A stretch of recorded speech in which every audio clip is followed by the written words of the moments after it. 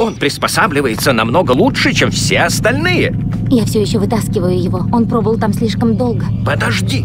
Мы слишком далеко от того, что нам нужно. Рисковать нельзя. Как насчет еще часа или двух?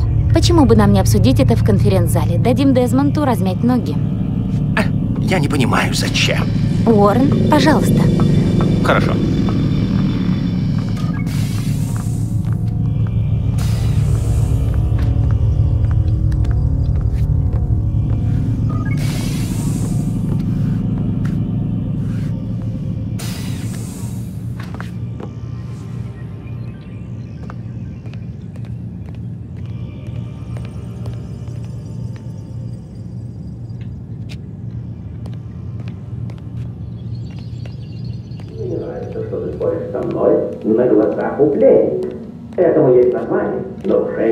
Дьявол, даже не переодеться. Мне нравится, что ты хочешь убить его, прежде чем мы закончим работу. Этому есть название. И название это глупость. Мне не нравится, что ты споришь со мной на глазах у пленника. Этому есть название. Нарушение субординации. А мне не нравится, что ты хочешь убить его, прежде чем мы закончим работу. Этому есть название. И название это глупость. Люси, это не мое решение. Не я устанавливаю сроки. Но я достаточно удан, чтобы не спорить. Ты же не хочешь закончить как Лейла? Я знаю, что тот случай всех переполошил. И поэтому у нас нет времени возиться с ним. Если ты будешь нажимать слишком сильно, он закроется, и у нас ничего не останется. У нас ничего и нет. Но будет. Надо верить в свои силы. Отлично. Но я хочу, чтобы ты нашла способ держать его там дольше. Мы не можем прерываться каждый раз, когда он чихнет. Нам и так приходится смотреть всю эту бесполезную чушь. Я сделаю, что смогу.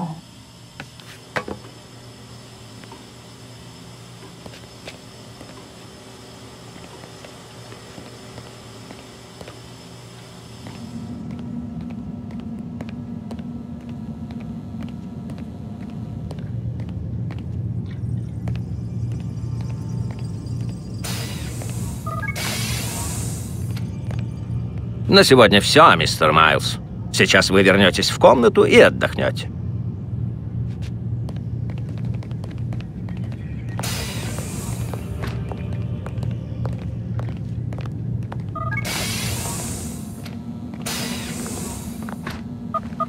Черт, они заперли дверь.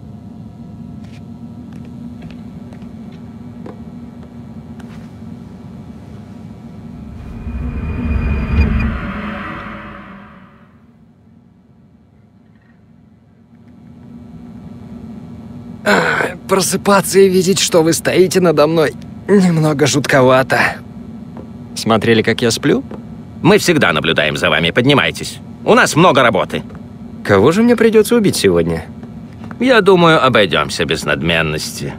Ваши предки шли почти верным путем, мистер Майлз. Если смерть нескольких злых людей может спасти тысячи, это лишь малая жертва. Почему почти верным?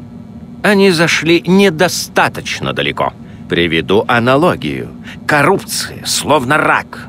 Если вырезать метастазы, но не тронуть источник, то ты всего лишь оттянешь время.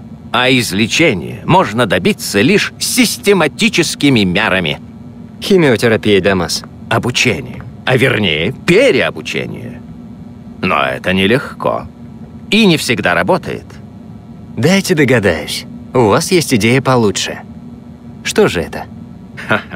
Так я вам и сказал.